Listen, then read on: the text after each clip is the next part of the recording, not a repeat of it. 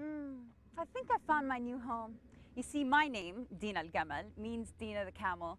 So here at the Camelicious farm, I've been very welcomed. Hey, I I think I see my third cousin over there. Gamal! This farm is home to 3,000 camels who are pampered with baths and scrumptious food. They get groomed and even have their own fitness instructors. And in return, these very comfortable camels give us milk, which turns out is not like any other milk I've tried.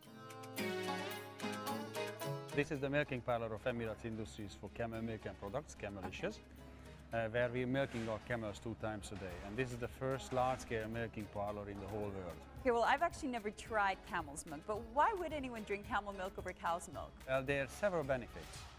First of all, it has lower fat content and then much higher vitamin C than in a cow milk. There are a few differences. The protein in the camel milk is different, and usually people are not allergic to this.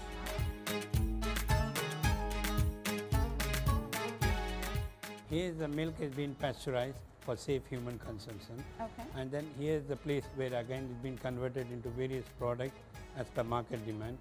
Like we make uh, white milk and also flavored milk. Okay, so we're here in the filling room, correct? Yeah. From the what we saw earlier was the processing. The milk which has been processed is brought here to fill in bottles Okay. for the end product to go to the market.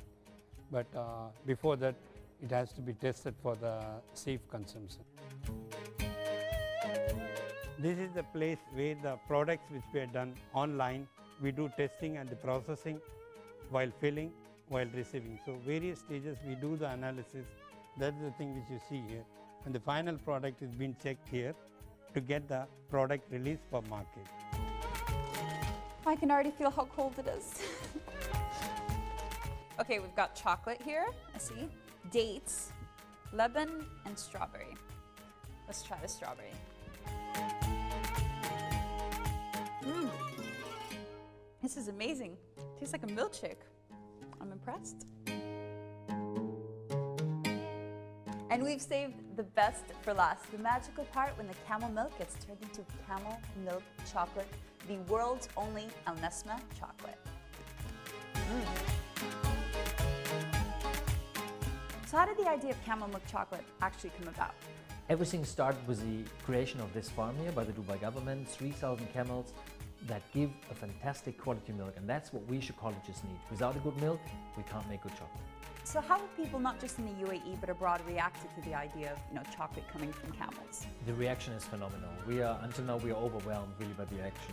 You have to imagine the Japanese, the Europeans, many Arabs from all over the Arabic world are really, you know, they're calling us every day, they're demanding the chocolate. We are sending chocolate out to the world basically uh, every day. And that's really very, very rewarding feeling.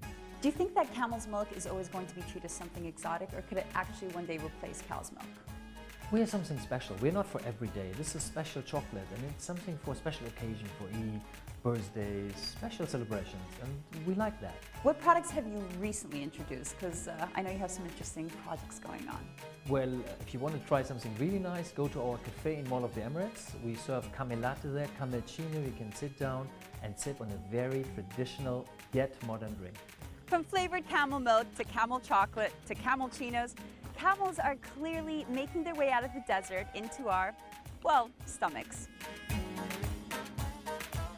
Not bad, guys. Proud to be part of the camel family.